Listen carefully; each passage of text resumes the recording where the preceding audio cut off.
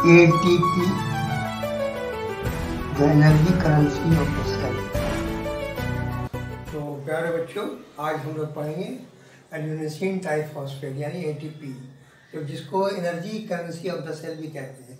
Currency इसलिए कहते हैं कि एक तरह से जैसे हम लोग के पास करेंसी रहता है ना कि कभी पॉकेट में रहता है बैंक में जमा कर देते हैं ताकि वक्त ज़रूरत में खर्च कर सकते हैं ये चीज़ खुदिया भी जो है अपने पास जो है कर्जी रखता है।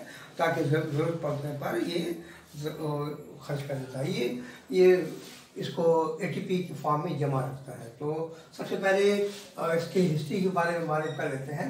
It was Karl Lohmann nineteen twenty nine कि उसने कहा कि the main energy transfer molecule उसके बाद उन्नीस में प्रिस लिपमैन ने कहा कि उसके उसके बारे में तफसील से स्ट्रक्चर के बारे में बताया। और ये बताया कि और बाद में चल के उसको नोबल प्राइज़ भी मिला। ठीक है तो हम गौर करते हैं कि स्ट्रक्चर क्या है।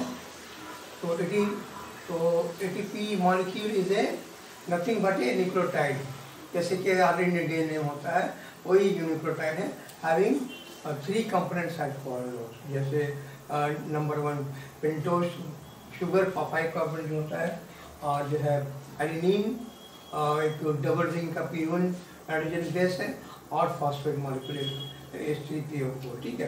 तो कहने का मतलब है कि अगर शुगर और बेस मिल जाता है तो बन जाता है डिक्लोसाइड अब ये एडिन के बजाय कहलाता है एडोनसिन अब एडोनसिन बन गया, अब ये फॉस्फेट मिल गया तो निकोटाइड हो गया। और इसके लिए इसका थ्री फॉस्फेट है, इसलिए इसको बोलते हैं एडोनोसिन टाइफॉस्फेट तो अगर तफसील से हम गौर किया स्ट्रक्चर को ये डबल रिंग का एडिनिन बेस है पीरिन टाइप का, और शुगर के साथ मिल गया? तो निक्लोसाइड बन गया, और ये फॉस्फेट के साथ मिल गया। एक एक फॉस्फेट के साथ मिला तो एडिनिन एडिनोसिन मोनोफॉस्फेट दो के साथ मिला तो एडिनिन डाइफॉस्फेट और तीन के साथ मिला एडिनिन तीन टाइप फॉस्फेट तो अब बात करते हैं प्रॉपर्टीज़ का।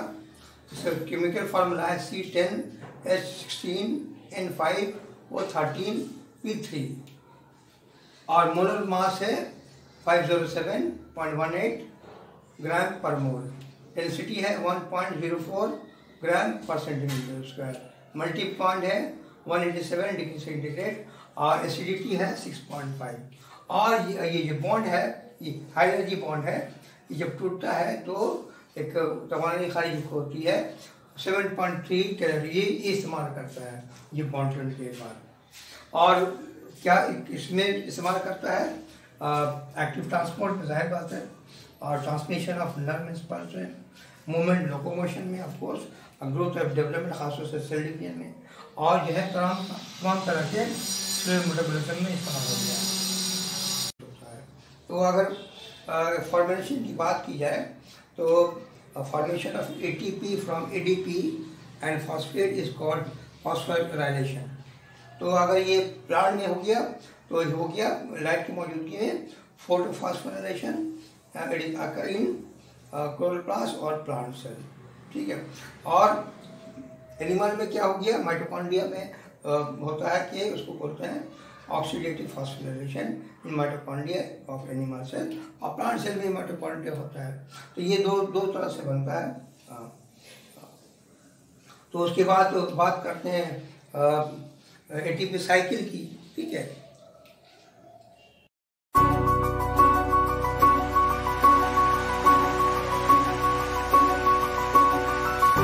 अगर हम एटीपी साइकिल पे गौर करें तो ये एनर्जी करेंसी की शक्ल में खुलिया में जमा रहता है और जब ज़रूरत पड़ता है कि वो खुलिया में इस्तेमाल हो जाता है तो इस्तेमाल होने के बाद क्या होता है कि ए टी में ए डी पी में तब्दील हो जाता है और एक फॉस्फेट ग्रुप अलग हो जाता है।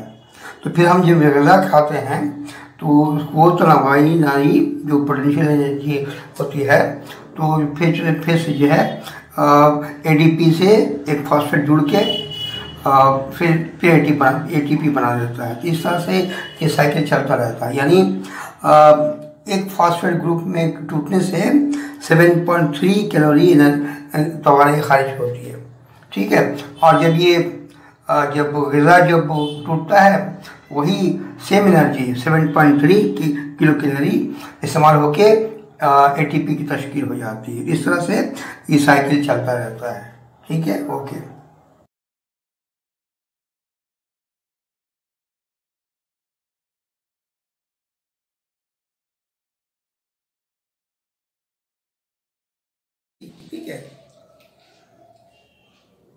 तो इस तरह से हमने देखा कि हमने बहुत ही ब्रीफली जो है उसकी तारीख, उसके स्ट्रक्चर और प्रॉपर्टीज़ यूजेस और फॉर्मेशन और जो है एटीपी साइकिल के बारे में ब्रीफ बयान कर दिया।